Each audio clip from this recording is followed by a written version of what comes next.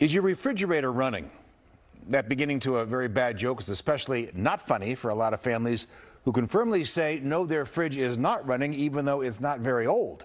Consumer investigator Chris Chmura says some folks contacted our response team for help. Others, however, contacted a lawyer and are now making a big federal case out of their failed fridges. One morning I went to get the milk out and it was sour. Betsy Anderson's luck with refrigerators stinks as badly as the food she's tried to keep cold.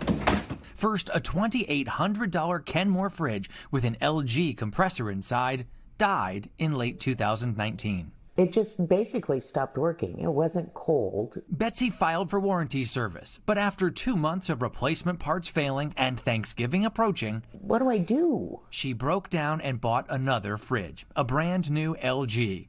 It only lived four years. And that just died this year. Same thing. We did, I didn't even bother calling them. If you're keeping score, that's one Redwood City home with two dead fridges in just five years. Yeah, two. And unfortunately, we bought another LG fridge, so I guess that is the definition of insanity, right? Betsy's not alone. We searched our nationwide response complaint database. Over the past couple of years, our NBC and Telemundo sister stations around the country have heard from dozens of upset LG and Kenmore owners. It's sort of like a ticking time bomb. Therese in Philadelphia said her fridge failed when it was only seven months old. Bernadette in San Diego said technicians have been to my home seven times which sounds a lot like Care in LA's story. Fix lasted one week.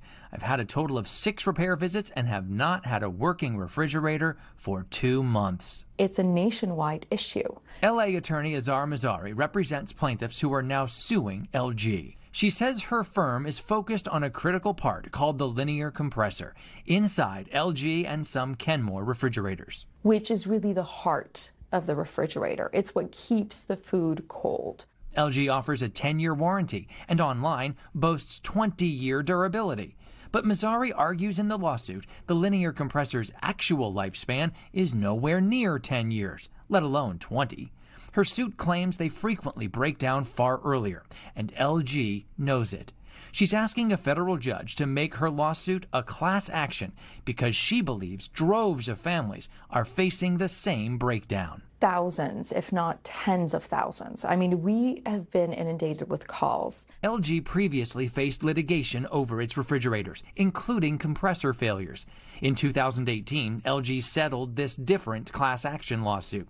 Mouzari's suit is new and makes a new claim fraud. She argues in the suit that LG is defrauding people like Betsy because it continues to make a linear compressor that falls short of its 20 year durability. We know that they've known about this issue and they know that the rate of failure is just unreasonably high.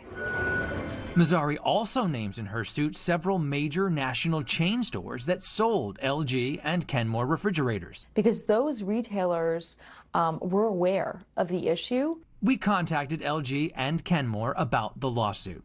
LG told our LA response team the company does not comment on pending litigation. It's fighting the suit in court. When LG settled the previous class action suit, the agreement said LG specifically denies any alleged defect in the LG refrigerators. Kenmore says it no longer sells refrigerators with an LG compressor. Mouzari says the new lawsuit is gaining traction. So currently we have 102 plaintiffs. She wants LG to extend people's warranties up to 20 years and refund anyone like Betsy who says they bought a dud LG or Kenmore or two. It's a tremendous hassle. After 2018. Well, I think they should make it right, and I think that they should do a recall similar to an automaker. If you own or owned an LG or Kenmore refrigerator and bought it after 2018, you can scan this QR code to find out more about the lawsuit.